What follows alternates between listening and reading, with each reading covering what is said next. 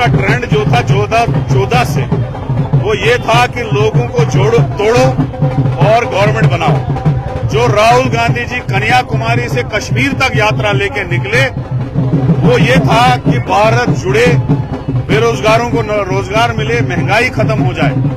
कहीं ना कहीं उसी का असर दिखता है, जिस तरीके से बीजेपी ने, नरेंद्र मोदी जी ने कैलरा स्टोरी भी इसी इलेक्शन में लाई।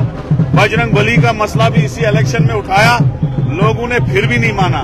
लोगों ने वन साइड वोट डाला और कांग्रेस की यहाँ पे सरकार बनी। अब मुझे लगता है कि ट्रेंड चेंज हो चुका है। लोगों को समझ आ चुका है। लोगों को समझ आ चुका है कि ये जो पोलराइजेशन है इससे हमारा कुछ अच्छा बनने वाला नहीं है। बीजेपी आपको कुछ नहीं दी मज़हब वाली सियासत को लोगों ने रिजेक्ट किया है। भगवान सबका है। बजरंग बली कांग्रेस का भी था, जेडीएस का भी था, बीजेपी की था, आपका भी और हमारा भी है। भगवान कभी बुरा नहीं चाहेगा। भगवान बजरंग बली ने भी कांग्रेस का ही साथ दिया और आज हम मजाटी से वहाँ जीते।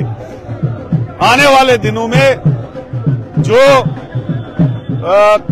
जम्मू कश्मीर में ये इलेक्शन से भाग रहे हैं, नौ साल से, अगर ये यहाँ भी इलेक्शन कराएँगे यहाँ पे भी इनकी बुरी हालत होने वाली है। जिस तरीके से इन्होंने लोगों को सताया, स्टेट छीनी, स्टेट के दो हिस्से किए, लोगों को जेलों में डाला, बिजली बिलें बढ़ाई, प्रॉपर्टी टैक्स बढ़ाया, बेरोजगारी बढ़ाई, रोज़गार में सिकेंडल किए।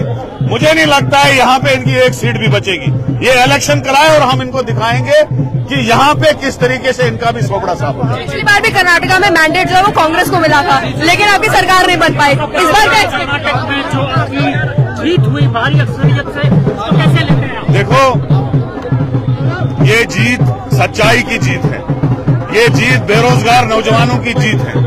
ये जीत केरला, कर्नाटका के छोटे छोटे मजदूर, गरीब लोगों की जीत है और हमारे कार्यकर्ताओं की जीत है जिन्होंने मेहनत की।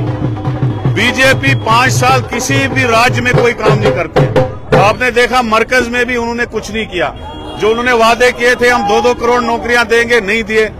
हम बेरोजगारी को खत्म करेंगे, नहीं किया। हम महँगाई को खत्म करेंगे, नहीं किया। उल्टा उन्होंने लोगों को तंग किया ईडी से, बाकी एजेंसियों से। उन्होंने सरकारें तोड़ी, डेमोक्रेसी का कत्ल किया। लेकिन आज लोग, असली ताकत होती है लोगों के पास।